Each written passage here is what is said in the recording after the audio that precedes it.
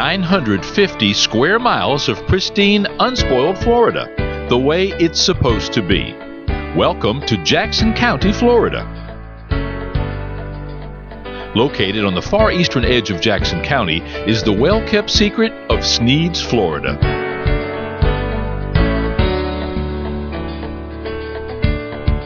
With just over four and a half square miles and a population of under 2,000, Sneads is an unassuming, quiet little town.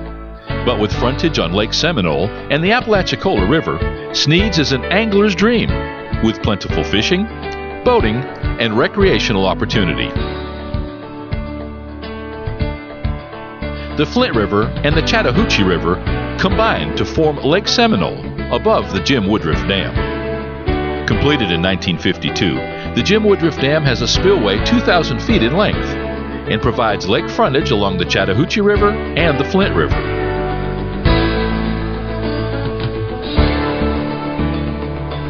Over 37,000 acres, Lake Seminole is maintained by the U.S. Army Corps of Engineers and has 375 miles of shoreline. Largemouth bass, crappie, chain pickerel, catfish, and striped bass all find habitat in the lake, while American alligators, snakes, and various waterfowl are also prolific in the lake and adjacent wetlands. The lake is also well known for its goose hunting.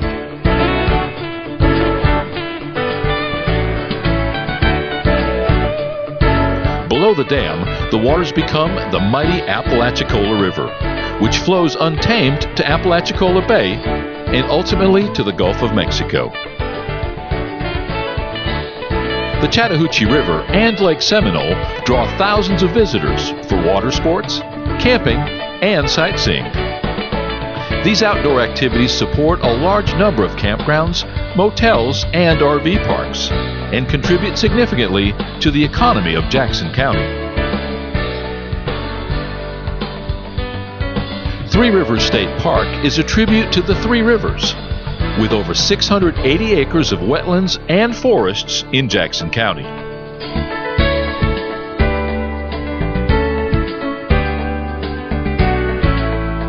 Pine and hardwood forests dominate the park, with rolling hills and steep ravines.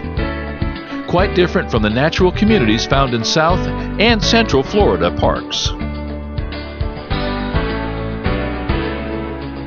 four educational, self guided hiking and multi use trails with brochures, signage, and kiosks are available and provide nature education and birdwatching opportunities. The steep slopes along the shores of Lake Seminole provide a microclimate, significantly cooler and more moist than the surrounding areas. The conditions found along these slopes provides a home to a variety of trees, wildflowers, and herbaceous plants, which catch the attention of both visitors and hummingbirds. The resulting ecotourism of birdwatching, camping, and nature education is a perfect form of tourism, with visitors taking only pictures and leaving only footprints. So, whether you're an outdoorsman or just love the outdoors, you'll find all you need and more to do just that. So, you see, whether you're looking for a great place to raise a family, start a business, enjoy your vacation, or retire, Jackson County offers all this and more. Thanks for joining us on this virtual tour of Jackson County, Florida. Next time you're looking for something a little different, take a deep breath relax, and get back to what's important. Check us out at visitjacksoncountyfla.com. We'll be waiting for you.